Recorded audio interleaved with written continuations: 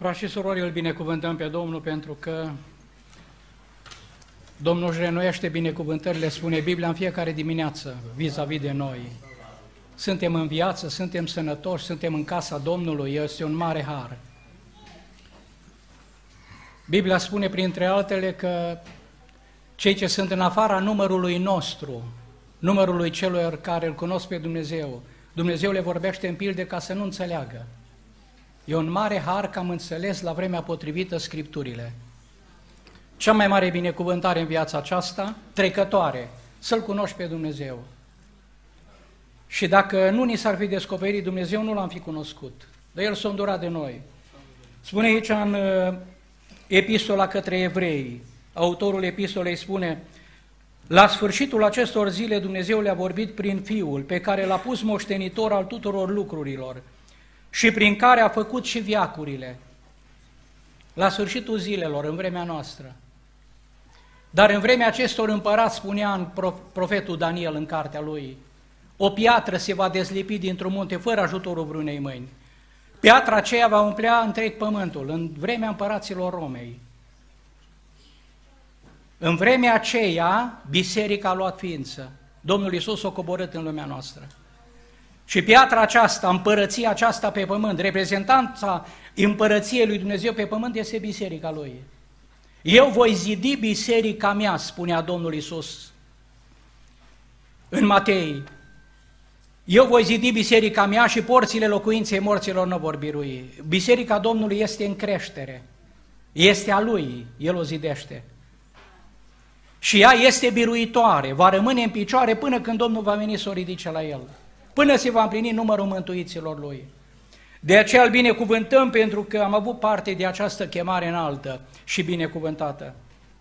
Ce frumos, la sfârșitul acestor zile ne-a vorbit prin Fiul pe care l-a pus moștenitor al tuturor lucrurilor și prin care, zice, a făcut și viacurile, Tatăl.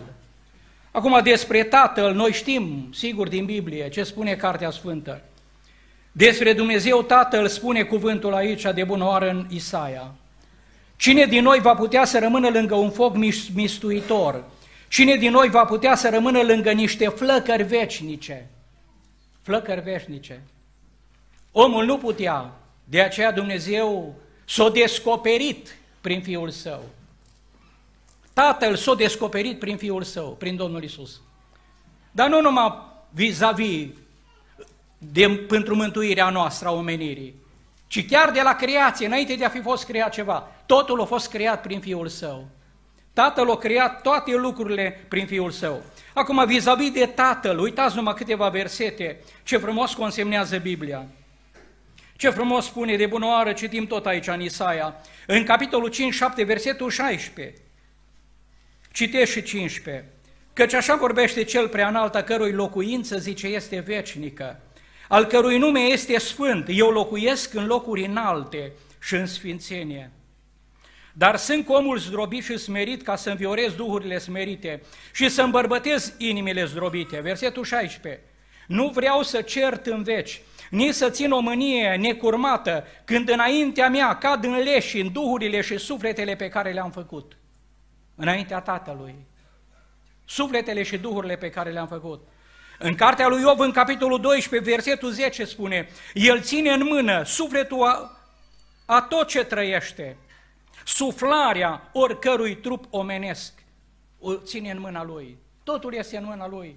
Tot aici, în cartea lui Iov, vis-a-vis de aceast, acest Dumnezeu mare, capitolul 34 din uh, Iov spune, printre altele, în felul următor, versetul 21, Căci Dumnezeu vede purtarea tuturor, privește pașii fiecăruia. Nu este nici întuneric, nici umbra morții unde să se poată ascunde cei ce fac fără de legea. Dumnezeu, zice, nu are nevoie să privească multă vreme ca să tragă la socoteală, să tragă la judecată pe un om înaintea lui. Nu are nevoie de multă vreme. Într-o clipă, El pătrunde toate lucrurile. El vede și veșnicia noastră, viitorul nostru. Tot aici, în cartea lui Iov, mai spune ceva frumos de la versetul 12. Nu ne greșit Dumnezeu nu săvârșește fără de lege. Acela totputernic nu calcă dreptatea. Cine l-a însărcinat să cârmuiască pământul? Cine a dat lumea în grija lui? Zice, dacă nu s-ar gândi la, decât la el, dacă și-ar lua înapoi Duhul și, sufle, și suflarea, tot ce este carne ar peri deodată și omul s-ar întoarce în sărână. Într-o clipă toată omenirea. El are în mână sufletul oricărui trup omenesc. Totul este în mâna lui.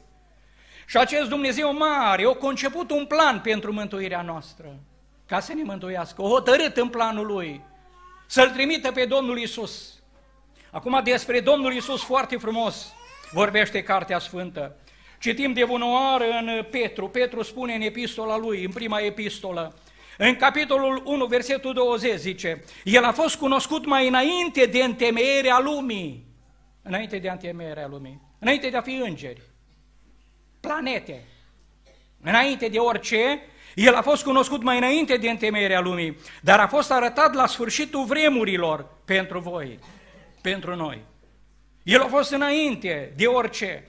În uh, Ioan spune aici, în epistola lui Ioan, foarte frumos, tot în această idee, în capitolul 4, versetul 12, nimeni n-a văzut vreodată pe Dumnezeu.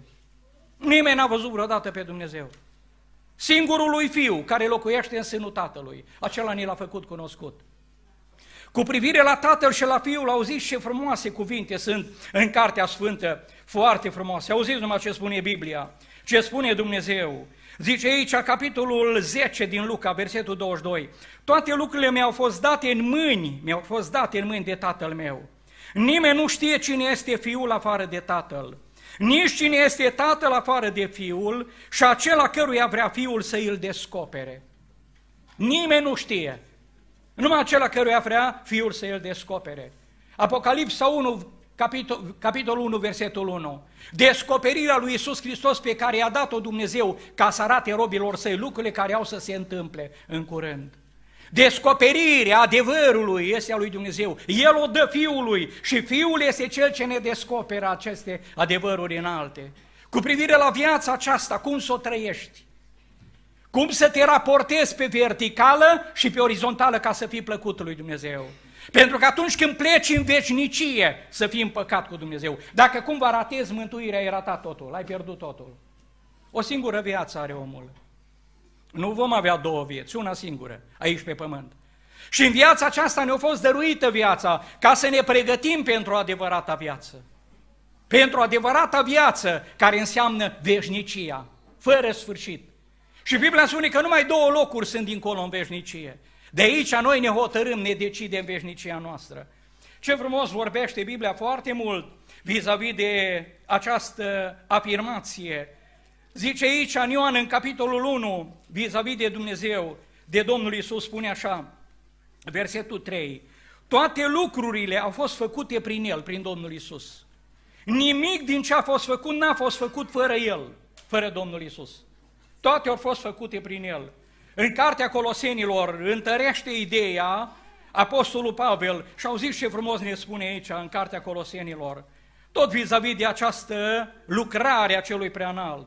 Spune aici versetul 16, prin el, prin el, dar citim și 15, el este chipul Dumnezeului celui nevăzut, cel întâi născut din toată zidirea, pentru că prin el, prin Domnul Isus, au fost făcute toate lucrurile care sunt în ceruri și pe pământ, cele văzute, nevăzut și nevăzute. Fie scaune de domnii, fie dregătorii, fie domnii, fie stăpâniri, toate au fost făcute prin El și pentru El. El este mai înainte de toate lucrurile și toate se țin prin El.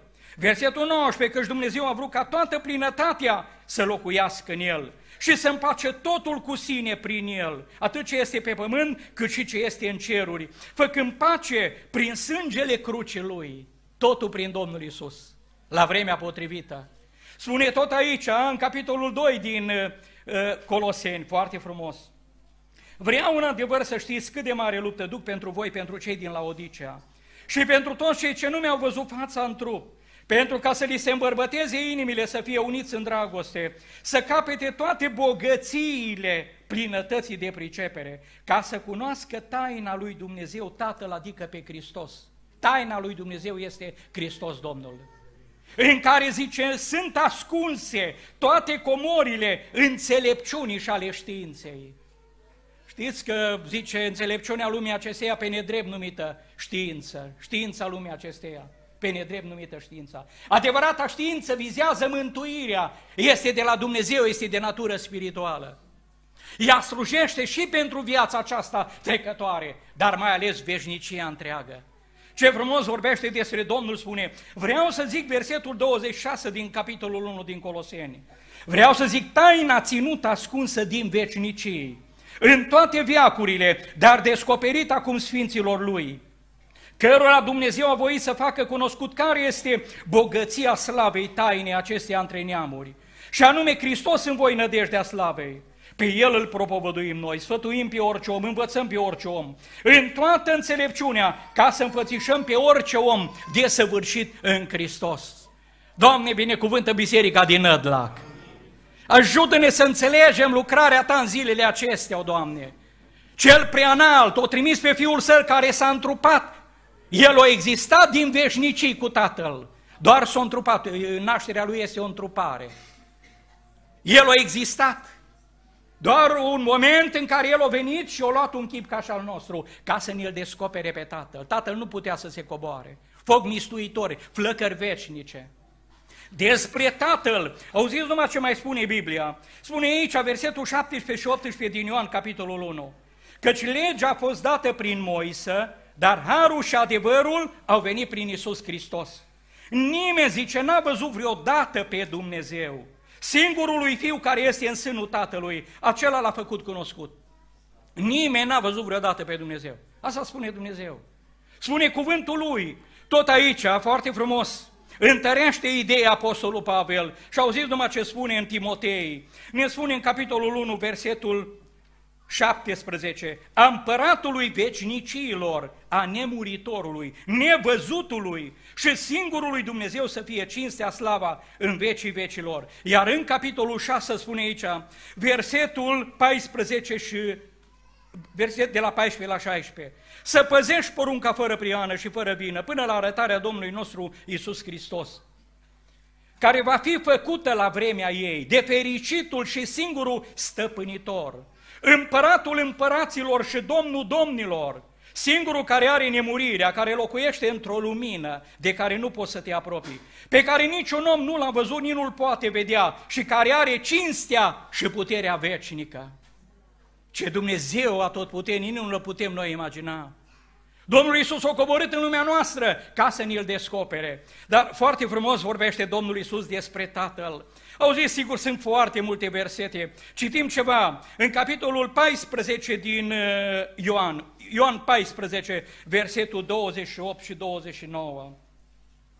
Spune aici, ați auzit că v-am spus că mă duc la Tatăl și mă voi întoarce la voi, mă duc și mă voi întoarce la voi, dacă m-ați iubi. V-ați fi bucurat că v-am zis, mă duc la Tatăl, căci Tatăl este mai mare decât mine. Cum? Tatăl e mai mare decât Fiul? Absolut. Absolut, există o ierarhie în Dumnezeiere, ca natură divină, sunt la fel, ca natură divină, dar în ierarhie Tatăl este Tatăl.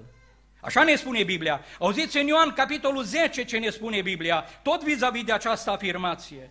Ioan 10, versetul 28, spune așa, dar citim și 26, de la 26. Dar voi nu credeți pentru că, cum v-am spus, nu sunteți din oile mele. Oile mele ascultă glasul meu. Eu le cunosc și ele vin după mine. Eu le dau viață veșnică, în viac nu vor peri și nimeni nu le va smulge din mâna mea. Tatăl meu, care mi le-a dat, este mai mare decât toți. Și nimeni nu le poate smulge din mâna tatălui meu. Tatăl meu e mai mare decât toți. Domnul Iisus, Tatăl, Fiul, l-a recunoscut pe Tatăl. Tatăl este absolut. S-a descoperit însă prin Fiul, prin Domnul Iisus Hristos. Și Fiul cu o fidelitate absolută l-a reprezentat pe Tatăl în lumea aceasta. Îmi place foarte mult afirmația Domnului Luca, capitolul 22, versetul 49. Spune acolo, printre altele, mă duc să vă pregătesc împărăția, după cum și tatăl meu mi-a pregătit-o mie. Tatăl a pregătit împărăția fiului. Iar fiul o pregătește la ora actuală fiilor lui, biserica lui, care trebuie, are această menire care a avut-o fiul. Fiul a avut menirea să-l reprezinte pe tatăl, iar chemarea noastră este să-l reprezentăm pe fiul cu demnitate, cu fidelitate. Doamne ajută-ne, amin? Ajută-ne să te reprezentăm în lumea aceasta. Dacă sărbătorile le avem fără a trăi literalmente acest cuvânt, n-am realizat nimica. Doar sărbătorile și s-au dus. Dar latura morală este să ne verificăm, să ne cercetăm, să ne putem cerceta, verifica, să vedem care este starea noastră și unde suntem. Domnul să ne binecuvinteze. 1 Corinteni, capitolul 15, versetul 24, au zis tot în această idee ce frumos vorbește Biblia. Apostolul Pavel ne vorbește aici și ne spune așa, Zice, după cum toți, versetul 22 din capitolul 15 mor în Adam, tot așa toți vor învia în Hristos, dar fiecare la rândul cetei lui. Hristos este cel din tâi rod, apoi la venirea lui cei ce sunt ai lui. În urmă va veni sfârșitul, când El va da Domnul Iisus împărăția în mâinile lui Dumnezeu Tatăl, după ce va fi nimicit orice domnie, orice stăpânire și orice putere, trebuie că El să împărățească până va pune pe toți vrăjmașii sub picioarele sale. Când, și versetul 28, când toate lucrurile vor fi supuse, atunci chiar și Fiul se va supune celui ce o supus toate lucrurile, pentru ca Dumnezeu să fie totul și în toți. Doamne, lasă puterea Ta peste noi. Amin? Doamne, lasă Duhul Tău în noi. Viața aceasta, chemarea noastră, este să-L reprezentăm pe El. Revenim la textul nostru în seara aceasta, sigur sunt zeci de versete asemănătoare în Noul Testament. Dar aici, în e, Cartea Evreilor, ce frumos spune, de aceea, frați sfinți, care aveți parte de chemarea cerească, o chemare înaltă ne-a făcut-o Dumnezeu, chemarea la mântuire. Preasfinți care aveți parte de chemarea cerească, ațintiți-vă privirile la apostolul și la marele preot al mărturisirii noastre, care a fost credincios celui ce l-a rânduit, după cum și Moise a fost credincios în toată casa lui Dumnezeu. Când citesc aceste versete, întotdeauna înțeleg că avem nevoie, dragii mei, de un model în cele spirituale. Vremea modelelor, într-o lume a modelelor, în toate domeniile, avem modele. Avem modele, chiar și fanfariștii au de multe ori modele. Când facem o casă, trebuie să avem un proiect, un model. To- în toate domeniile modele. Când e vorba de cele spirituale, să știți, e foarte important modelul. Modelul nostru nu e altul decât Domnul Isus. El a venit din lumea noastră să fie un model. Auziți ce spune aici în Evrei, capitolul 12. Ne spune aici foarte frumos, versetul 1-2. Și noi, dar fiindcă suntem înconjurați cu un nor așa de mare de martori, să dăm la o parte orice piedică și păcatul care ne pășoară așa de lezne, să alergăm cu stăruință în alergarea care ne stă înainte, să ne uităm țintă, zice, la căpetenia și desăvârșirea credinței noastre, adică la Isus, care pentru bucuria care era pusă înainte a suferit crucea, a disprețuit rușinea și și-a de la dreapta scaunului de domnia lui Dumnezeu. Să ne uităm țintă la cel ce-a suferit. Dar știți ce ne promite nouă Dumnezeu? Celui ce va birui, cum a biruit Domnul. Va sta cu mine pe scaunul meu de domnie, după cum și-o am biruit și șed împreună cu tatăl meu pe scaunul lui de domnie. Dar pentru aceasta trebuie să ne uităm țintă la acest model, să ne uităm țintă la Domnul nostru Isus Hristos. Să ne uităm țintă la viața Lui, la trăirea Lui, cum a trăit El, cum a vorbit El. Să-L copiem pe El, obișnuim să copiem oameni. Ne uităm la oameni de multe ori. Vreau să spun că o distorsionare a învățăturilor, că astăzi n-a fost niciodată. Astăzi există o distorsionare. Există de multe ori învățături care n-au suport în Cartea Sfântă. Vreau să nu uităm însă, modelul nostru este Domnul nostru Isus Hristos. Tatăl l-a trimis să fie un model. Și Biblia ne spune să ne uităm țintă la El, la viața Lui, la trăirea Lui. Și eu vreau câteva lucruri să le consemnăm vis-a-vis -vis de această afirmație. De aceea, frați sfinți care aveți parte de chemarea cerească, ațintiți-vă privirile la apostolul și la marele preot al mărturisirii noastre. Primul lucru la ce aș vrea să rămânem puțin, să zăbovim, este neprienirea Domnului Isus. El a fost neprienit. Biblia spune că El a fost fără păcat. În cartea evreilor, auziți ce frumos ne spune aici, în capitolul 7, versetul 25 și 26, spune așa, de aceea și poate să mântuiască Domnul Isus în chip de săvârșit pe cei ce se apropie de Dumnezeu prin El, pentru că trăiește pururi ca să mijlocească pentru ei. Și tocmai un astfel de mare preot ne trebuia sfânt, nevinovat fără pată, despărțit de păcătoși și înălțat mai presus de ceruri. De aceea și poate să mântuiască în chip de săvârșit pe cei ce se apropie de Dumnezeu prin El. Nu există mântuire fără El. Tatăl a hotărât ca prin El, El să fie poarta de intrare în veșnicie. Filiera mântuirii este Domnul Isus Hristos. De aia spune în Cartea Faptele Apostolilor, auziți numai ce frumos spune aici, cuvântul lui Dumnezeu vis-a-vis de această afirmație. În nimeni altul, versetul 12 din capitolul 4 din fapte, în nimeni altul nu este mântuire, că nu este sub cer un alt nume dat oamenilor în care trebuie să fie mântuiți. Unul singur și acest nume este Isus Hristos, Fiul lui Dumnezeu. Doamne, ajută-ne să privim la Tine. Dar vreau să nu uităm, dragii mei, cerința lui Dumnezeu, frați sfinți, care aveți parte de chemare. Chemarea e din cer de la Dumnezeu. Singura chemare din cer e chemarea la mântuire. Toate celelalte sunt de jos de pe pământ. Asta este de sus din cer. Dar și standardul, ștacheta pe care o dorește Dumnezeu este tot din cer. Modelul. Modelul este Domnul Isus Hristos. Ațintiți-vă privirile la El. Și ce ne cere în primul rând? Ne cere o stare de neprianire. Și în seara aceasta, printre altele, asta e latura morală a sărbătorilor, să ne verificăm unde suntem noi, cum suntem. Știți dumneavoastră că Biblia spune că mulți chemați și puțini aleși. Zice, lăsați-le să crească amândouă împreună până la coacere. Nu cumva smulgând neghina să smulge și grâu împreună cu neghina. Lăsați-le împreună. Suntem împreună în adunare. Asta e adunarea locală din Nădlac. Nu-i biserica adevărată. Dacă toți sunt și în biserică adevărată, slavă Domnului. Dar lupta este cât vom trăi aici pe pământ, e o luptă. Ca să facem parte din cei care suntem și aleși. Mulți chemați, puțini aleși.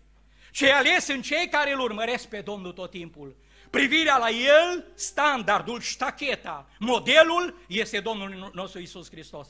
Și prima primul lucru pe care vreau și am, l-am menționat este starea aceasta de neprienire. Auziți ce vorbește Biblia în dreptul nostru acum? Spune în Cartea Sfântă, Matei 6, versetul 33, căutați mai întâi împărăția lui Dumnezeu și neprienirea Lui. Știți cine e neprienirea Lui Dumnezeu? Domnul Iisus Hristos.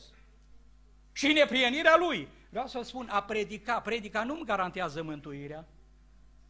A venit la biserică, sunt oameni bisericoși la ora actuală.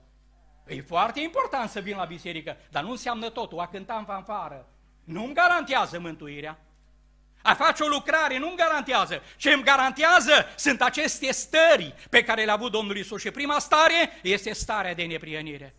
Neprienirea aceasta pe care Dumnezeu o dorește să o avem și noi. Uitați ce spune în Cartea Efesenilor, capitolul 4. Versetul 23 spune așa și 24. Să vă noiți în Duhul minții voastre, să vă îmbrăcați în omul cel nou făcut după chipul lui Dumnezeu, de o neprihănire și sfințenie pe care o dă adevărul. Neprihănirea pe care Dumnezeu ne-o pretinde, nu e neprihănirea pe care ne-o cer frații din jur. Există o rânduială în fiecare biserică locală. Există anumite cerințe, dar dincolo de toate, totul trebuie să corespundă cu cerința celui preanalt. Și în Psalmul 119, auziți ce frumos spune aici, Psalmul 119, versetul 40, spune aici vis-a-vis -vis de această chemare înaltă pe care ne-a făcut-o Dumnezeu, standardul acesta înalt pe care îl are pentru noi, spune în felul următor, versetul 40 din Psalmul 119, Iată, doresc să împlinesc poruncile tale, fă să trăiesc în neprihănirea cerută de tine. E o neprienire pe care o cere Dumnezeu. Neprienirea aceasta o, a avut-o Domnul Iisus, o trăit-o și El ne pretinde acest standard. Cum a fost El în lumea aceasta, 1 Ioan capitolul 2, versetul 6. Cum a fost El în lumea aceasta, așa trebuie să fim și noi. Cum a trăit El. Viața Lui trebuie să fie viața noastră. Un standard de neprienire. Acum noi zilele acestea ne-am gândit și s-o vorbi probabil și aici despre Ioan Botezătorul. Și poate au fost amintit, dacă nu amintesc eu, sau reamintesc în seara aceasta din nou. Uitați ce spune în capitolul 1, vis-a-vis -vis de, de părinții, de Zaharia și Elisabeta, foarte frumos. Capitolul 1 din uh, Evanghelia după Luca, versetul 6 spune așa. Amândoi erau neprihăniți înaintea lui Dumnezeu. Nu numai înaintea oamenilor, înaintea lui Dumnezeu. Întrebarea este, Doamne, care este starea mea de neprienire înaintea Ta? Trebuie în fiecare zi să fiu cercetat, să mă cercetez. Și asta numai raportat la cuvânt, la adevăr, numai uitându-mă la viața Domnului. Tot vis-a-vis de această neprienire, Filipeni, capitolul 2, versetul 14 și 15 spune așa.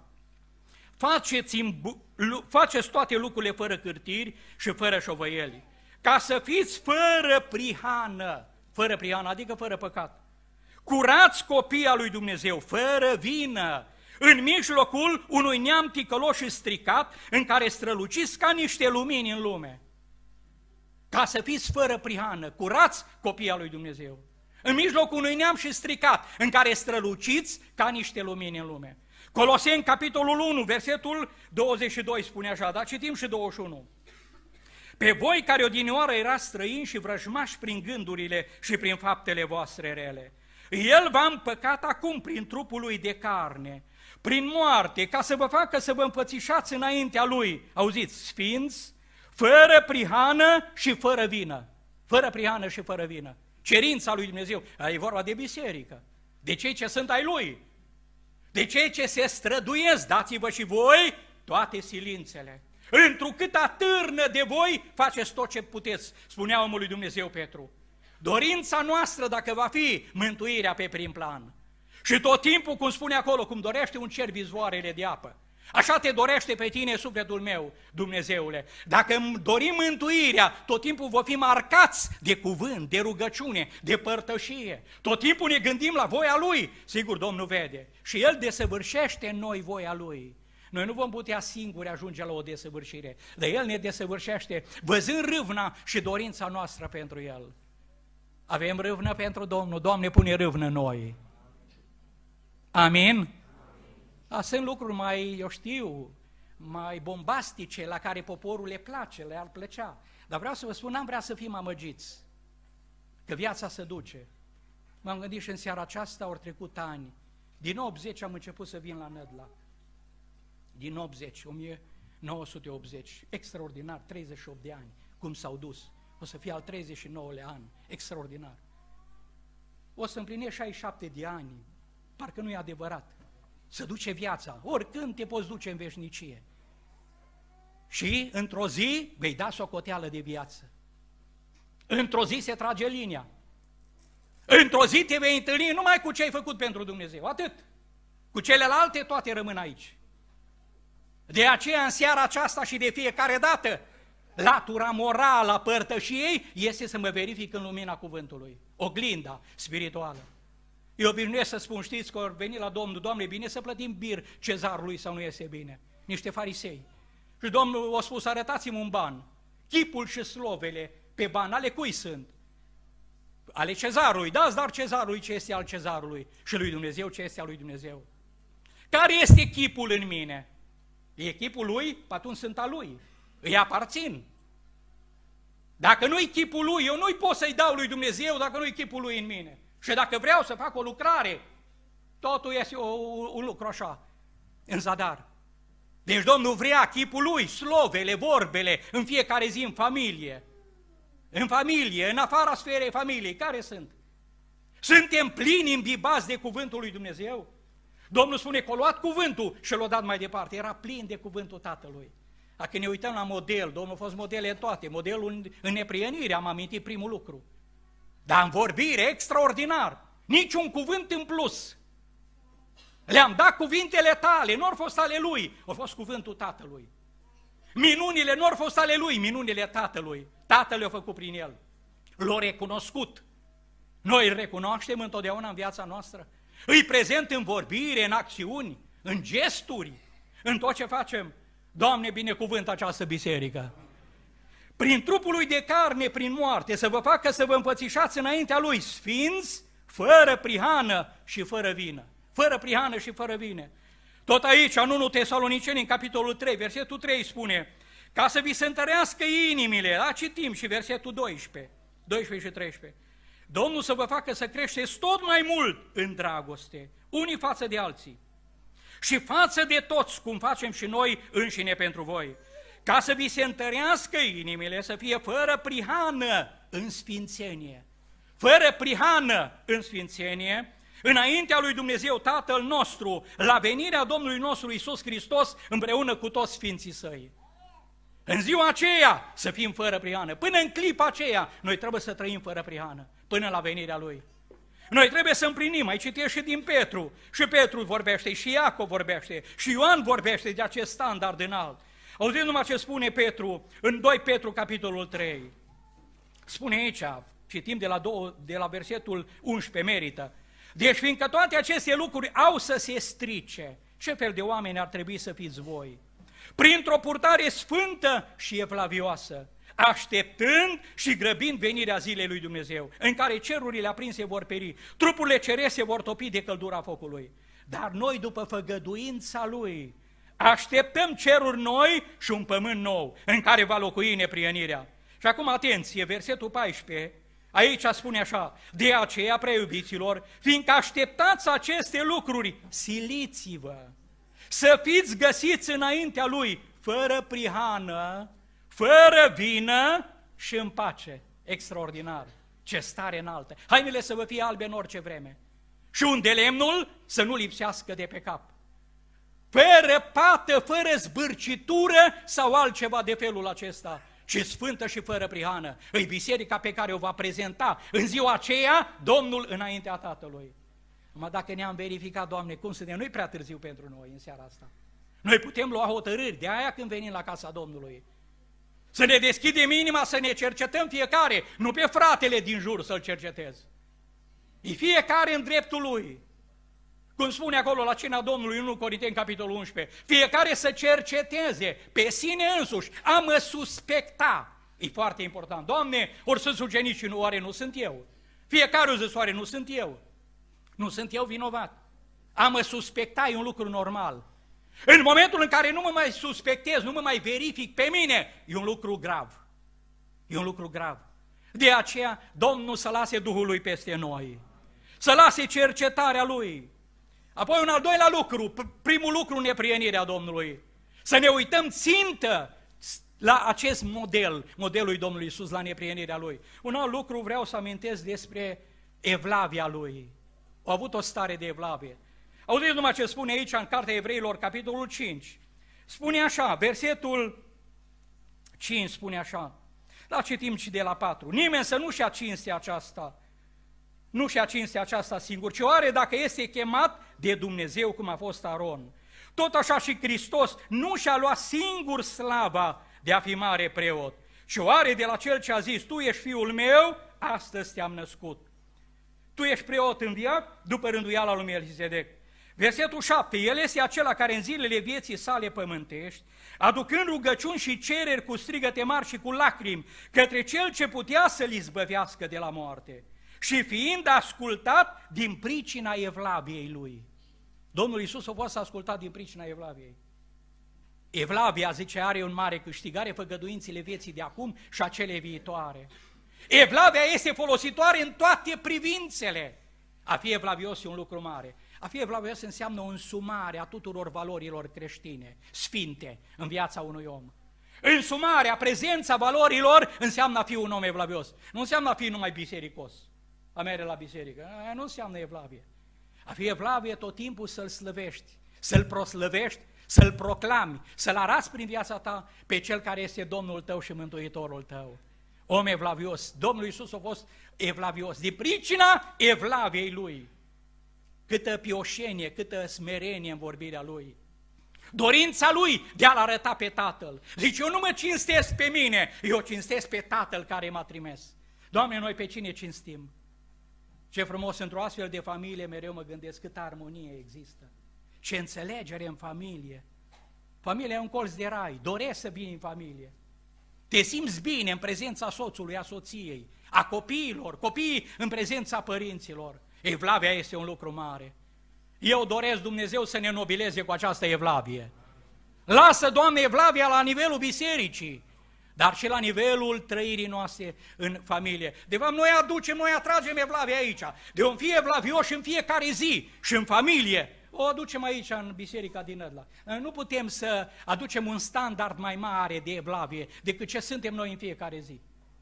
Noi aducem aici starea noastră, ce suntem noi, în mod real. O aducem aici, în casa Domnului. De aceea doresc, Doamne, ajută-ne să fim evlavioși. Evlavia este o mare binecuvântare. Încă o dată, el este acela care în zilele sale, zilele vieții sale pământești aducând rugăciuni și cereri cu strigăte mari și cu lacrimi către cel ce putea să-l izbăvească de la moarte și fiind ascultat din pricina evlaviei lui. O fost ascultat. În cartea Efesenilor foarte frumos, auziți numai ce spune în capitolul 1, spune aici despre Domnul Isus. Spune aici așa, și care este față de noi credincioși și nemărginita mărimea puterii sale, versetul 19, după lucrarea puterii tăriei lui, pe care a desfășurat-o în Hristos, prin faptul că l-a înviat din morți și l-a pus să șadă la dreapta sa în locurile cerești. Mai presus de orice domnie, de orice stăpânire, de orice putere, de orice dregătorie, de orice nume care se poate numi, nu numai în viacul acesta, ci și în viacul viitor. El i-a pus Tatăl, totul sub picioare și l-a dat căpetenie peste toate lucrurile bisericii, care este trupul lui, plinătatea celui ce plinește totul și în toți. Încă o dată, Doamne, ajută-ne să fim evlavioși. Celui ce va birui voi da o piatră albă și pe piatra aceasta albă este scris un nume nou, pe care nu-l știe nimeni decât acela care îl primește. Și numele acesta este scris înainte de veșnicii, în cartea sfântă, în cartea celui preanalt, în cartea vieții. Domnul Isus spune că are un nume nou și El, nimeni nu știe numele acesta nou, are un nume și, nou și El, pe care îl va purta în veșnicie. Ce frumos, numele noi! Să ne păstrăm chemarea aceasta, luptându-ne, făcând voia Lui. Stare de neprienire, în primul rând, stare de evlavie. Un al doilea lucru, un al treilea lucru, stare de blândețe. Domnul Iisus a fost blând, a fost stăpânul Universului. Prin El le-a creat Tatăl toate. Lui, în mână i au fost puse toate. Și totuși a fost blând, extraordinar. Matei 11, versetul 28 și 29. Veniți și învățați de la mine că eu sunt blând și smerit cu inima. Și veți găsi o dihnă pentru sufletele voastre. Cei blânzi moștenesc țara și au belșug de pace. Cei blânzi moștenesc împărăția lui Dumnezeu. Vor moșteni pământul acesta. Pământul și veșnicia. Cei blânzi. Blândețea este un lucru mare, e o roadă a Duhului. Nu poți să fii blând. Nu înseamnă că prin natație te-ai născut blând, un om, mă, uite ce blând, aia e una. Dar a fi blând ca roadă, ca natură divină, este cu totul altceva. Și Domnul Isus a fost modelul nostru. Câtă blândețe! Ca un miel pe care îl duci la măcelărie, ca o aie mută înaintea celor ce o tund. Eu zic încă o dată, în familie n-ar mai fi dispute. Copiii să contrazică părinții. Copiii să întoarcă vorba, să nu cinstească, să nu-i onoreze pe părinți. Ce înțelegere, ce armonie într-o astfel de familie. Blândețea este o floare rară. Repet din nou, poate am mai spus, trebuie ca lacrimile pocăinței să ude terenul smereniei, ca să poată crește această floare rară a blândeței. E o floare rară blândețea. Ce frumos, un om blând, blând și smerit cu inima. Despre Moise, spune Biblia că a fost cel mai blând om de pe fața pământului. Omul blând nu se apără, nu aude vorbele rele. Vorbele rele nu le aude, vorbele bune care sunt în favoarea lui nu le acceptă la fel. Nu se umflă de mândrie. Ce frumos! El este imun la tot ce se, se face în jurul lui. El are legătură cu Dumnezeu, îl reprezintă pe Dumnezeu. Zice că Maria au vorbit împotriva lui Moise și Aron, frații lui de corp, și el nu a auzit. O auzit, dar nu a auzit. Când te vorbește cineva, tu auzi? Dacă auzi, nu e în ordine încă. Trebuie să te lupți până acolo încât să nu mai auzi. Să nu încerci tu să te aperi. Când nu te aperi tu, te apără El. Dar dacă te aperi tu, nu te mai apără El. Știți ce spune în Psalmul 4 și în războinic viteaz? Încinge sabia, podoaba și slava. Da, slava ta suiete în carul tău de luptă și apără blândețea, adevărul și neprienirea. Și dreapta ta să strălucească prin ispră minunate. Auziți și ne apără blândețea. Tatăl, cine l-a apărat pe Domnul în final? L-a ridicat, l-a înviat și l-a pus la dreapta lui. Știți că a fost altcineva care și-a dorit locul acela, o râvni pentru el. Diavolul. Diavolul să mă voi sui pe muntele Dumnezeilor, voi fi alături de cel prea înalt, voi sta împreună cu el pe scaunul lui în fundul miază noapte. Și tatăl l-a coborât de acolo, pentru că și-a dorit el slava. Domnul Isus însă, ne spune Biblia, au ascultat și tatăl l-a ridicat și l-a pus alături de el pe scaunul lui de domnie. Ce frumos! Domnul apără pe cel ce este blând. Eu doresc încă o dată, Doamne, lasă blândețea ca rod în viața noastră. Ajută-ne să te reprezentăm pe Tine. Mă, de multe ori m-am gândit, Doamne, câtă nelegiuire e în lumea aceasta. Să știți că lumea noastră nu e mai puțin păcătoasă decât lumea lui Lot. Nici pe departe. Dar în, în acele cetăți unde era Lot, ne spune Biblia că nu s-au găsit 10 oameni. Și datorită lor, care să fie la standardul cerut, Domnul să ierte și Domnul să aducă izbăvirea. Nu s-a găsit. Știți de ce însă astăzi Domnul nu nimicește pământul? Pentru că e biserica Lui pe pământ. Pentru că există credincioșii Lui, care înaintea Lui au o valoare înaintea Tatălui. Ne arată Biblia în Apocalipsa ce se va întâmpla în viitor, ce cataclisme. Astfel popoarele muncesc degeaba și neamurile se trudesc pentru foc. Pământul cu tot ce este pe el va arde. Oamenii își vor da sufletul de groază în așteptarea lucrurilor care se vor întâmpla pe pământ, căci puterile cerurilor vor fi clătinate. Dar noi acum să ne tulburăm, să ne impacientăm, nu. Noi avem un Dumnezeu care stăpânește. Noi avem pe cineva care e la cârma evenimentelor. El ține în mână toate evenimentele și acesta este Domnul și Mântuitorul nostru. Rugăm, Doamne, rămâi alături de noi. Rămâi alături de poporul tău și dă biruință. Un al patrulea lucru pe care putem să-l privim și trebuie să ne uităm la Domnul este smerenia Lui. Domnul a fost smerit, blând și smerit cu inima. Cu inima smerit. Când ești cu inima, ești cu toată ființa. Biblia spune că trupurile noastre, trupul, Duhul și sufletul nu mai sunt ale noastre, ci sunt ale Lui. Proslăviți dar pe Dumnezeu în trupul, Duhul și sufletul vostru, care sunt ale Lui Dumnezeu. Domnul Iisus întru totul, El a fost smerit. Noi nu-l putem, sigur, ajunge acest standard înalt de smerenie. Spune aici în Filipeni foarte frumos, citim aici, în Filipeni capitolul 2, zice așa, versetul 5, să aveți în voi gândul acesta care era și în Hristos Iisus. El măcar că avea chipul lui Dumnezeu, totuși n-a crezut ca un lucru de apucat să fie deopotrivă cu Dumnezeu. S-a dezbrăcat pe sine însuși și a luat un chip de rob. Făcându-se asemenea oamenilor, la împățișare a fost găsit ca un om, s-a smerit și s-a făcut ascultător până la moarte și încă moarte de cruce. De aceea și Dumnezeu l-a înălțat nespus de mult și a dat numele care este mai presus de orice nume, pentru ca numele Lui să se plece orice genunchi a celor din ceruri, de pe pământ și de sub pământ, și orice limbă să mărturisească spre slava Lui Dumnezeu Tatăl că Iisus Hristos este Domnul. S-a smerit. Dar ce smerenie, un om între oameni. Dar culmea că nici nu s-a deosebit între cei 12. Știți că atunci când Iuda o trebuie să-i dea un semn, să le dea un semn, nu cumva să prindă un alt ucenic, să greșească adresa. Zice, cel pe care îl voi săruta, că un alt semn nu am. Nu era nicio deosebire între el și ucenici. Creatorul, stăpânul, stăpânul cel mare, și-a făcut asemenea nouă, o trăi printre noi. O blândețe, o neprihănire, extraordinar, o evlavie nemaipomenită. S-a identificat cu ucenicii lui. S-a smerit. De aceea și Dumnezeu l-a înălțat nespus de mult. Cine se smerește va fi înălțat. Cine se înalță va fi smerit. Doamne, ajută-ne să ne smerim. Amin? E mai greu, nu? Da, e greu. Dacă voiește cineva să vină după mine să se lepede de sine, nu e ușor atâtea pretenții, în familie mai ales, soția are pretențiile ei. Când începe o dispută, din fașă, din fașă o ceartă poate fi anulată dacă e unul înțelept. Că e bărbatul, că e soția, dacă e, e primul care imediat capitulează și cere iertare. Eu sunt de vină, chiar dacă nu ești de vină. Dar pentru pace merită. Extraordinar. E un lucru mare, acest standard, această cerință pe care o are Dumnezeu. O zis în Psalmul 119, îmi place foarte mult. Psalmul 119, versetul 67, până ce am fost smerit, sau până ce nu m-am smerit, rătăceam, dar acum păzesc cuvântul tău.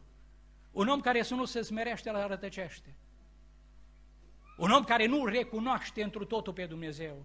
El e totul în toate. Fără El n-am nimic. Sănătatea și toate sunt din mâna Lui. Versetul 71. Este spre binele meu că m-ai smerit, ca să învăț orânduirile tale. Ca să învăț orânduirile tale. Este spre binele meu că m-ai smerit. Versetul 75. Știu, Doamne, că judecățile tale sunt drepte. Din credincioșie m-ai smerit. Din credincioșie. Auziți ce spune în Cartea Proverbelor, capitolul 20. Spune aici foarte frumos, în versetul capitolul 22, rectific, versetul 4. Răsplata smereniei și a fricii de Domnul este bogăția, slava și viața. Auziți ce răsplată au cei care se smeresc? Bogăția, slava și viața. Dar când? La arătarea venirii Lui. Să aveți ca rod răsplătirea în ziua aceea. În ziua aceea, răsplata smereniei și a fricii de Domnul este bogăția, slava și viața. Auziți numai în Psalmul 25 ce frumos vorbește, tot în această idee. Spune aici foarte frumos cuvântul. Psalmul 25, versetul 8 și 9. Domnul este bun și drept, de aceea arată El păcătoșilor calea. El face, auziți, El face Dumnezeu, pe cei smeriți să umble în tot ce este drept. El face, El învață pe cei smeriți calea sa, pe cei smeriți. Ce spuneți în biserica din Nădlac mai încape încă smerenie? Da, dacă vrem să ne uităm, încape la toți, la fiecare dintre noi și mie și la oricare. O când mă uit la Domnul, la viața Lui, stăpân și ce frumos, l-a întrebat Pilat, Irod, întrebări. O putea, era stăpân, toate le știa, erau în mâna Lui, niciun cuvânt. O vorbi numai ceea ce trebuia vorbit. Ce frumos în familie și în viață și în societate să ai acest standard înalt de smerenie, pe care Domnul ne-l dorește, îl vrea de la noi. Biserica Lui, încă să, să știți, ea trebuie să aibă acest standard de smerenie. Domnul îl dorește, uitându-ne la Domnul Isus. Smerenia, un alt lucru, un al cincilea. Ne uităm la Domnul Isus și un al cincilea lucru. Frați sfinți care aveți parte de chemarea cerească, ațintiți-vă privirile la apostolul și la marele preot al mărturisirii noastre, adică la Isus, la ascultarea Lui. O ascultat și până la capăt. O ascultare până la sfârșit. De cine? De Tatăl. O asculta de Tatăl, planul Lui, întru totul. Cea mai frumoasă dare de seamă pe care o găsim este în Ioan capitolul 17, foarte frumos. Ce frumos când cineva pleacă în veșnicie, e chemat de Domnul și înainte poate și el să facă această afirmație pe care a făcut-o Domnul. Domnul a făcut-o înaintea Tatălui, iar noi înaintea Domnului Isus. El este Domnul nostru și Mântuitorul nostru. Și aici spune, printre altele, auziți ce frumos, versetul 4. Eu te-am proslăvit pe pământ, am sfârșit lucrarea pe care mi-ai dat-o să o fac. Versetul 5. Și acum, Tată, proslăvește-mă la tine însuți cu slava pe care o aveam la tine înainte de a fi lumea. Înainte de a fi lumea. Că nu era nimic. Eu eram împreună cu tine, aveam o slavă înaintea celui prea înalt. Zice în continuare, am făcut cunoscut numele tău oamenilor pe care mi-ai dat din lume. Ai tăi erau și tu mi-ai dat. Știi ce spune în Ioan 6? Nimeni nu poate veni la mine dacă nu i atras de Tatăl care m-a trimis. Noi am fost atrași de Tatăl. Prin ce? Prin Duhul Sfânt. Și când va veni Duhul Sfânt, El va dovedi lumea vinovată în ce privește păcatul, neprienirea și judecata. Prin Duhul Lui ne-a atras la Domnul, iar Domnul se ocupă de noi. El e marele păstor, am și alte oi, pe toate trebuie să le aduc să fie o turmă și un păstor. Și el se ocupă de turmă. El de hrană, el binecuvintează poporul său. Ce frumos spune aici. Acum au cunoscut că tot ce mi-ai dat tu vine de la tine. Căci le-am dat cuvintele pe care mi le-ai dat și ei le-au primit. Au cunoscut cu adevărat că de la tine am ieșit și au crezut că tu m-ai trimis. Ce frumos! să-ți poți sfârși viața a, venind înaintea celui prea înalt cu o dare de seamă, uitându-te retrospectiv și realizând că l-ai slujit cu adevărat pe Dumnezeu. Ascultare. Zice, ascultarea face mai mult decât jerfele și împlinirea cuvântului mai mult decât arderile de tot. Ascultarea e un lucru mare, dar o ascultare totală și la timp. Știți că există și o, as- o ascultare, dar nu la timp? O ascultare care nu e la timp, este echivalentă cu o neascultare. Sunt multe exemple pe care aș putea să le dau, dar mă uit și la ceas, că timpul trece. Eu doresc, Doamne, binecuvântă-ne cu ascultare. Ajută-ne să ascultăm de cuvânt de Tine, Doamne. Dacă să asculte cu Tine, trebuie în fiecare zi să citesc cuvântul Tău. Apropo, suntem la finele lui 2018, uitându-ne în urmă, cât am citit Biblia anul acesta? Au fost zi în care să nu iau cuvântul, Biblia, să o citesc? Au fost zi în care să nu vin înaintea Domnului? Am putut să am liniște și pace? Fără să citesc cuvântul, cuvântul e hrana noastră spirituală. Oglinda. Pe de o parte, în cuvânt, când citesc, când văd viața mea, îmi văd cutele, petele care le am pe haină, îmi văd defectele, nu le văd altfel. Numai când citesc aici, cuvântul este Domnul, s-a întrupat. Și cuvântul s-a întrupat și o locuit printre noi. El e adevărul, El este cuvântul, El este totul. Prin El Tatăl lucrează. Foarte important să mă verific. Iar dacă nu se iau hotărâri astăzi, Doamne, vreau cât mai am, câteva zile, și apoi anul care vine să-l încep cu Tine, Doamne, vreau să trăiesc pentru Tine. Avem în ev- multe evenimente în Biserica Betel din Arad, în sensul că sunt foarte mulți bolnavi.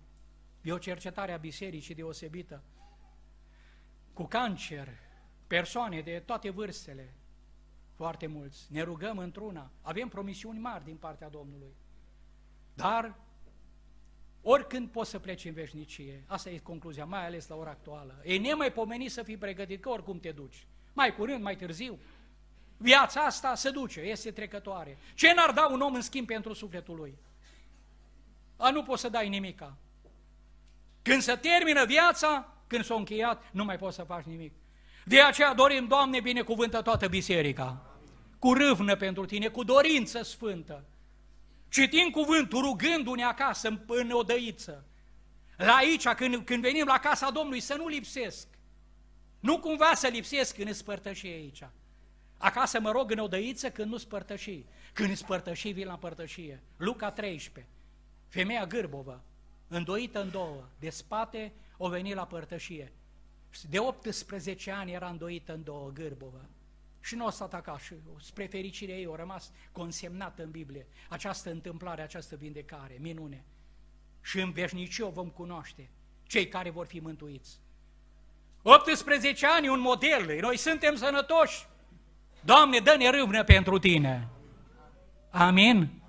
Să nu lipsim, ci cu toată inima. Și în ultima instanță, vrem, vreau încă un lucru să-l mai amintesc al șaselea, uitându-ne la Domnul, la răbdarea Lui până la capăt, până la sfârșit. Să știți că există un sfârșit. Spune aici, dar Hristos este credincios ca fiu peste casa Lui, versetul 6 din capitolul 3 din Evrei.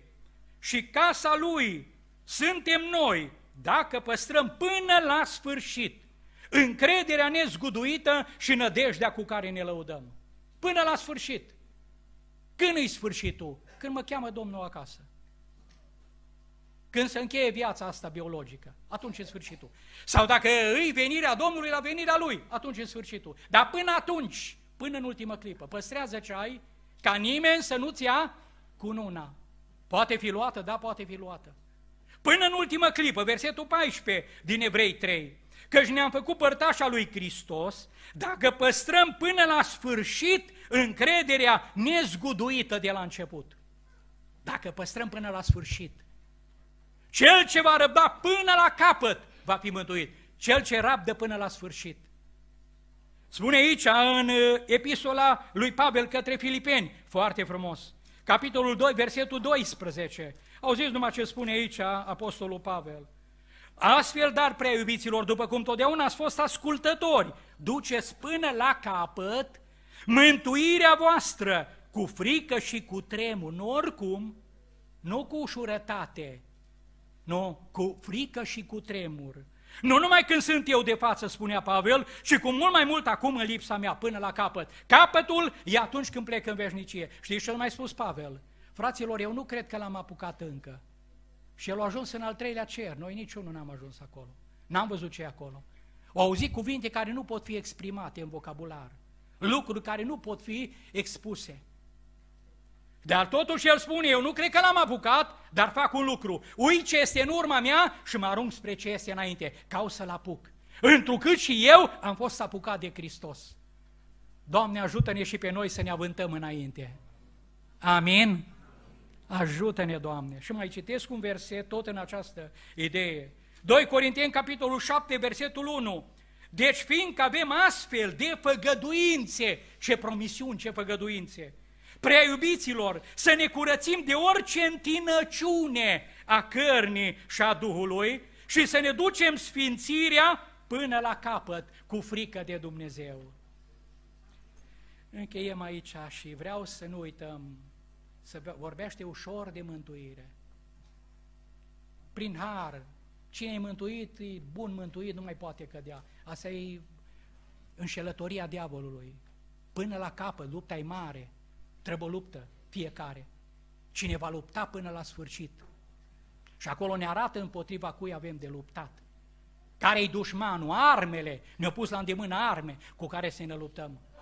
Mântuirea e un lucru mare, scump, s-a plătit un preț extraordinar. Și pentru asta merită să ne luptăm. Amin? Domnul să vă binecuvinteze. Și Domnul să ne ajute de astăzi mai mult să ne apropiem de Domnul. Să trăim așa cum vrea El, o viață adevărată și apoi nu vom regreta, ci ne vom bucura o veșnicie cu Domnul nostru. Amin.